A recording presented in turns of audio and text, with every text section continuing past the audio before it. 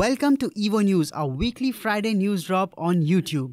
Here's where you get to know all what happened in the automotive world this past week. This week, we bring to you car and bike news, but first, we start with motorsport. That's right, the big news this week is, of course, Formula E. Hyderabad Street Circuit hosted its first ever Formula E race last weekend, the first FIA sanctioned event in the country in a decade. As expected, there was plenty of excitement in the paddock towards the build up to the race with two home teams participating. Mahindra Racing, of course, stole the show with plenty of happening on the sidelines of the race weekend. But more on that later. Another Indian representation was Jaguar TCS Racing. Since Jaguar is a part of the Tata Group and TCS is their main sponsor, there was plenty to look forward to. Jaguar TCS Racing kept expectations high with a strong showing in qualifying. Mitch Evans, the New Zealander, took pole, but unfortunately, the race didn't pan out for them as they crashed into each other early during the race. Mahindra Racing's Oliver Rowland came in seventh to give their first home points finish. Jean-Eric Vergne won the race for DS Penske, Nick Cassidy picked up second for Envision, and Antonio Felix da Costa made massive progress from his 13th place start to bag third.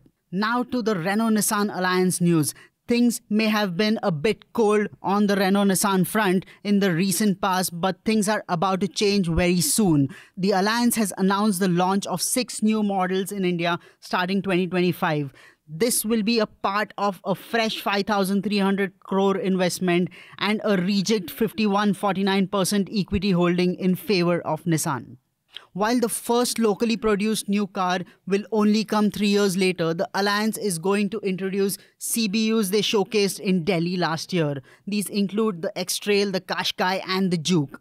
The plan is to keep excitement going in the brand until the new models are launched. Speaking of these new models, these are going to essentially be three new models that look very different for each brand.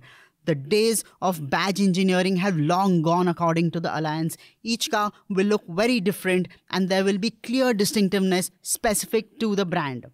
There will be a A segment EV, essentially a Kwid EV in the future that aims to take on the Tiago EV when it hits the market. The C segment should have turbo petrol engines to take on the likes of the Creta, Grand Vitara, Kushaq, and their siblings. The company did add that the platforms that these SUVs are based on are capable of being adapted to PHEV or EV powertrains. Now to some proper news for the enthusiast. Mercedes launched the AMG E53 4MATIC Cabriolet just before the Auto Expo. This is AMG's sexier take on the E53 sedan and when it came a few days before the Auto Expo last month, excitement was brimming. We recently drove the car and were mighty impressed by its everyday usability and thrilling performance. Under the hood is a 3 litre turbocharged straight 6 petrol engine. It also gets an integrated starter generator, and cumulatively, the E53 Cabrio makes 450 bhp and 770 newton meters of torque. Power is sent to all four wheels via the quick shifting 9 speed auto box. Key highlights the roof is available in four shades and it opens and folds even when you are on the move under 50 kilometers per hour.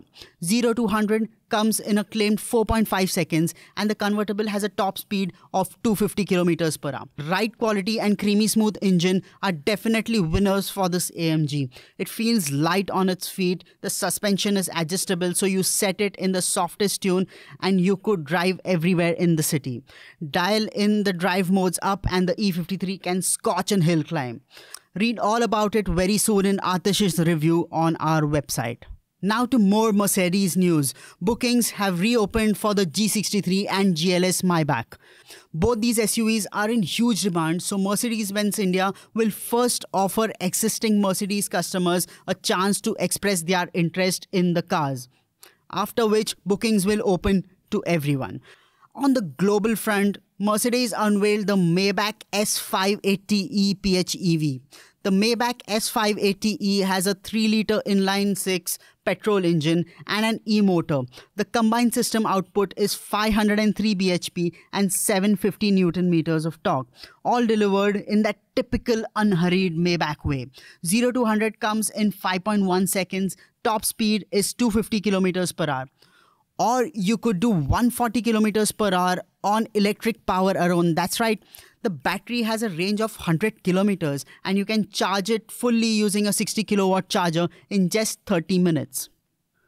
Two pieces of news came in from Hyundai this week. Hyundai has opened bookings for the next generation Verna and teased a few images of the sedan. The sedan will go on sale in May this year and will only be offered with petrol engines. The teasers show similar styling cues to what we are now quite familiar with with the i20 and the Tucson.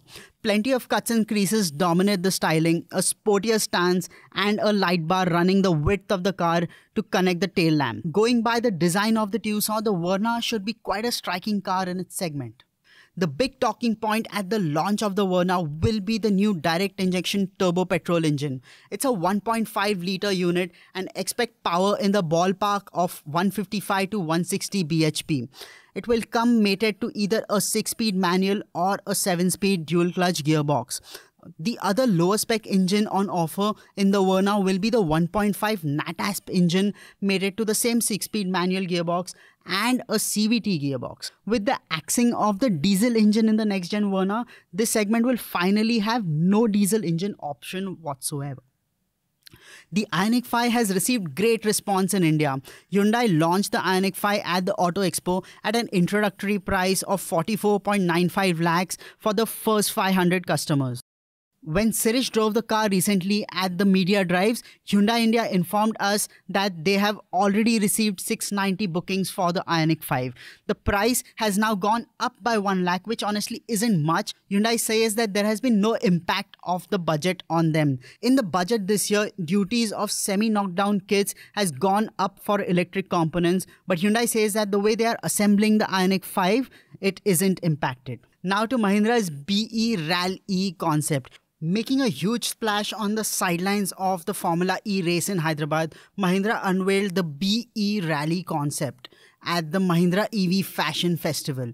The BE Rally concept is a tougher take on a BE05 coupe SUV Mahindra unveiled last year.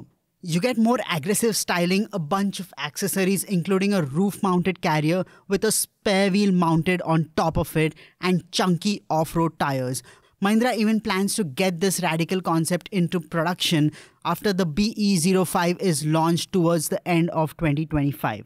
A quick additional update from Mahindra the Pininfarina Battista was seen in the flesh at the Hyderabad street circuit. Mahindra owned Pininfarina's first electric hypercar. The Battista made its debut in India. The 1874 bhp hypercar was piloted by Jehan Daruwala around the street circuit.